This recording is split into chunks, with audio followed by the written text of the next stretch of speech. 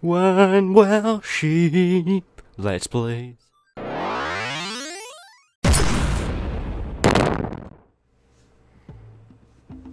Hello everyone and welcome to a fantastic game Jak and Daxter the Precursor Legacy on the Sony PlayStation 3. This game was originally released on the PlayStation 2 and uh yeah, I'm playing this through the HD collection that can be purchased right now on the PlayStation Network. I would uh, normally I would play this game through the PS2, but um, you know, considering I haven't got all the trophies in this and I plan on doing like a 100% run through, I figured why not just tackle this game on the PS3 version. You get better picture quality as well out of it. So yeah, I'm One Welsh Sheep and welcome to Let's Play Jak and Daxter the Precursor Legacy, one of the best games that was ever released on the PS2 and when I first played this on the PS2 I was blown away. It was just it took everything I loved about the Crash Bandicoot series and made it open world and just, oh, it's so delicious. Without any further ado, this begins, so pressing start now. Down, up, down, up. Gotta do my little sync test. Alright, so um, we're gonna be starting a new game. Uh, let me have a quick check around in the options though, because I think it was Jak 2 that introduced the... Yeah, Jak 2 introduced the sound. So there are no subtitles in this game, so I'm gonna need to be extra quiet during the cutscenes. So I'll probably disable my microphone or something. Anyway, this begin. Cutscenes are pretty long to start off with, so the game's gonna get it's gonna take about 10 or so minutes to actually get into things. So let's do this. Anytime now. I have spent my life searching for the answers that my father and my father's fathers failed to find. Who were the precursors? Why did they create the vast monoliths that litter our planet? How did they harness eco, the life energy of the world? What was their purpose? And why did they vanish? I have asked the plants, but they do not remember. The plants have asked the rocks, but the rocks do not recall. Even the rocks do not recall. Every bone in my body tells me that the answers rest on the shoulders of a young boy. Oblivious to his destiny, uninterested in the search for truth, and rejecting of my guidance. And why would he want to listen to old Samos the Sage anyway? I'm only the master of Green Eco, one of the wisest men on the planet. So it seems the answer begins not with careful research or sensible thinking. Nay, as with many of fate's mysteries, it begins with but a small act of disobedience. Hey! Uh, Jak, old green stuff told us not to come here.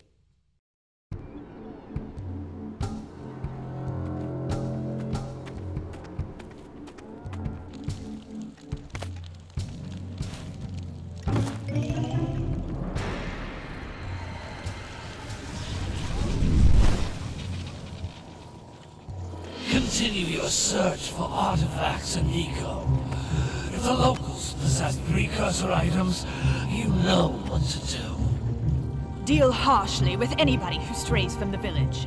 We will attack it in due time.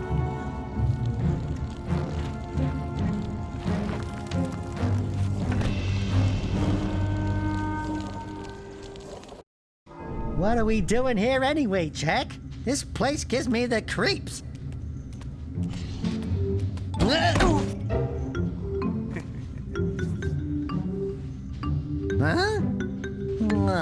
Stupid precursor junk. Eek! What is that dark ooze? It sure don't look friendly. the sage yaps on about the precursors that built this place all the time. Where did they go? Why did they build this crap? Now, I like precursor orbs and power cells as much as the next guy. But if you ask me, they must have been real losers. Wow! How did you do that? I think we're in trouble!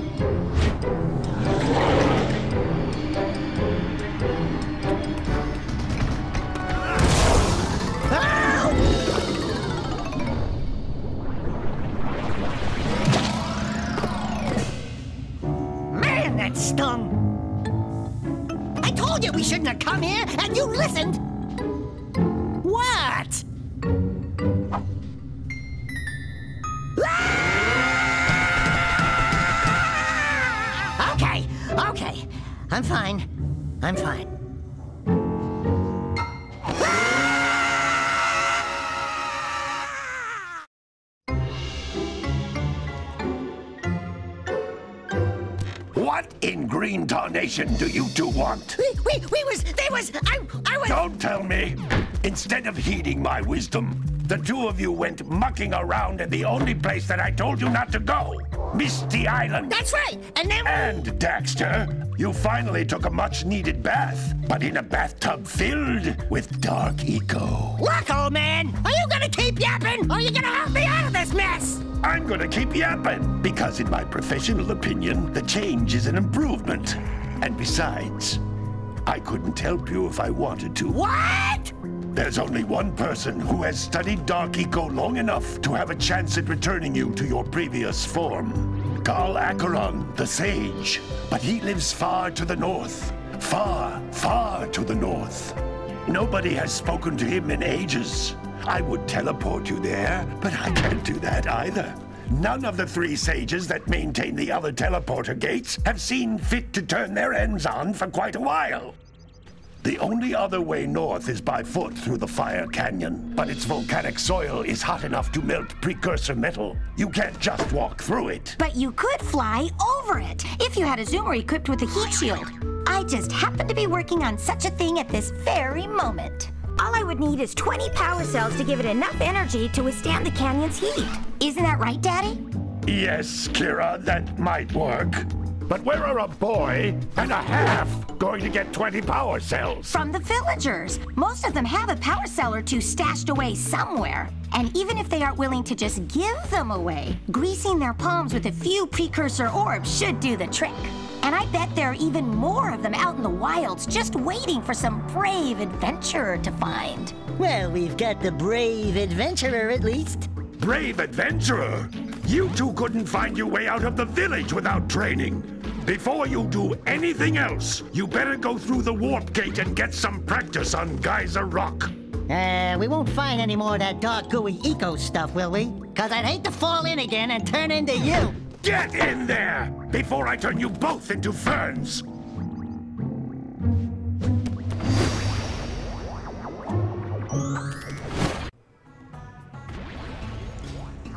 And welcome everybody to Geyser Rock, the very first sort of level of the game and the only thing that's really separated from the main world, because one of the biggest things about this game is the fact that you, if you see something in the distance, you know, some if, if you look over there, the, those mountings and such, we're actually going to go there later. This this game has a gigantic draw distance, which means if you see it, chances are you're going to go there, and if you go and that was one of the big selling points about the game because no game before this that I know of actually did something of this level. This was one of the first games to really take advantage of the then was new Crash, not Crash Bandicoot, what am I on about? Then was new PlayStation 2 power, so This device is a communicator. I can give you advice at any time during your quest. thanks a lot Keira. And uh, yeah, that like she said, that thing's a communicator. It'll pop up every now and then and give us obligatory little tutorial messages.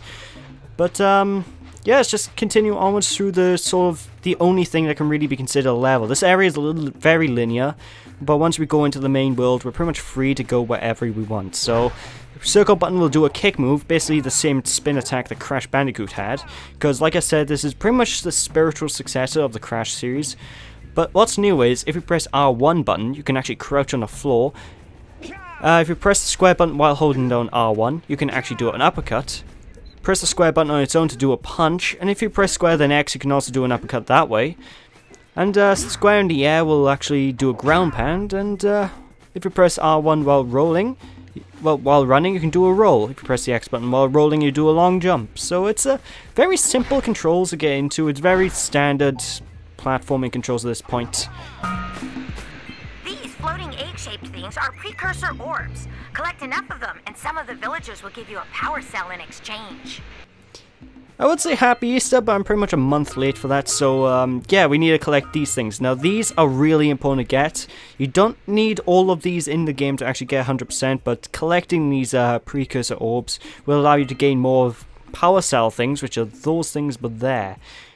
And uh, we want to get as many of those as possible because they are basically our plot MacGuffins of the game. So if you anyone's played Mario 64, they have the same function as the stars, or Banjo-Kazooie, same function as the jigsaw pieces, you know. So let's just get going, move on. You can destroy these uh, little dummies as well for a little training, but they're not really...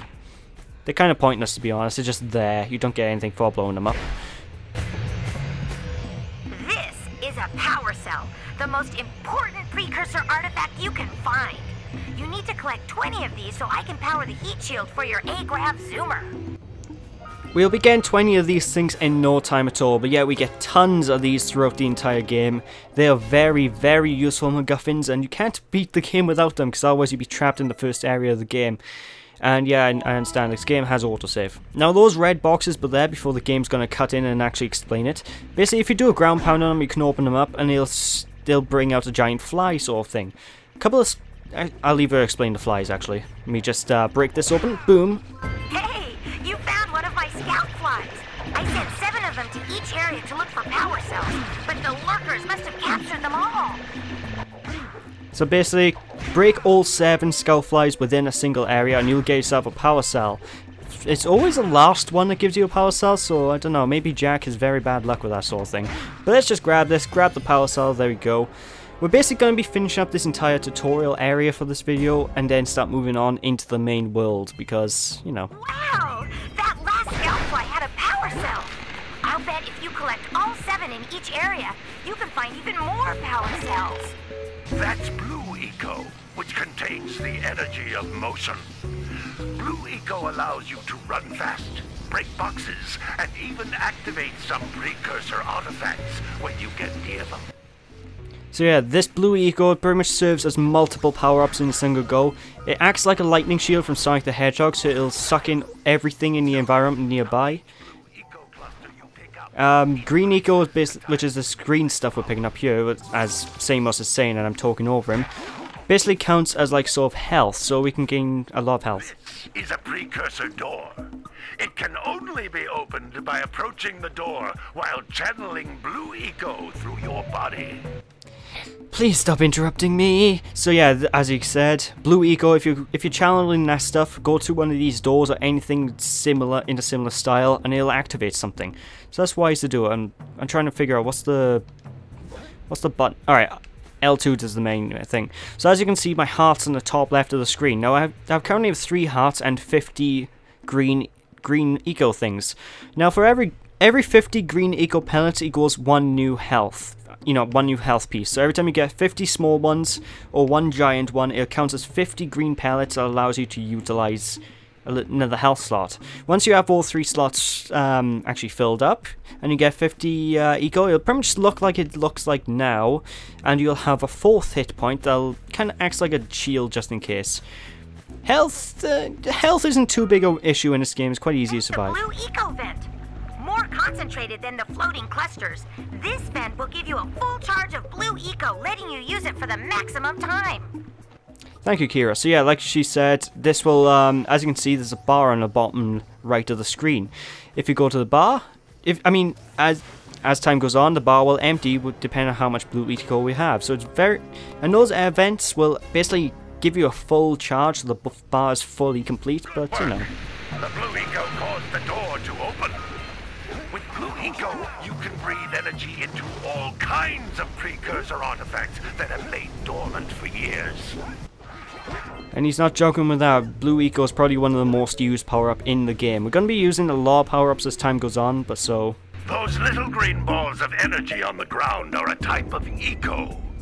Pick up 50 small green ecos or one big green one to increase your health.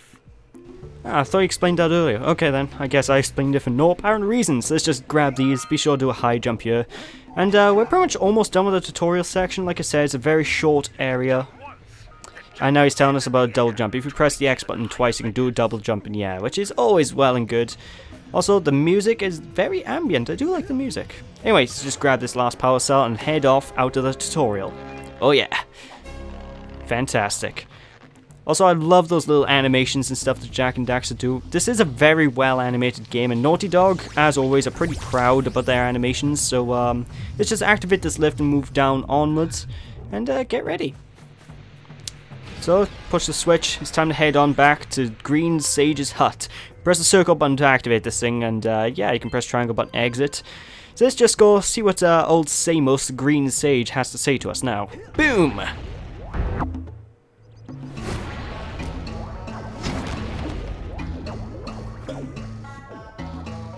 Good training, boys. But that's nothing compared to the challenges that lie ahead. Ah, then no problem. We got the moves, eh, Jak? We'd love to stay and chat, Big Green, but we're, uh, itching to get on with our adventures. Fine, fine. Adventure away then. And while you're out adventuring, why don't you make yourself useful? My darn green eco collectors are clogged up again. Head out to the far side of the beach and clear them out, why don't you? Follow the lamps. They'll take you right there. Now, all of you, get out of here! Okay, okay, calm down. There's not need to be that mean. So yeah, now the world's basically opened up. It's, like I said, it's very quick to actually get into this game. And you see everything in the environment out there? Everything.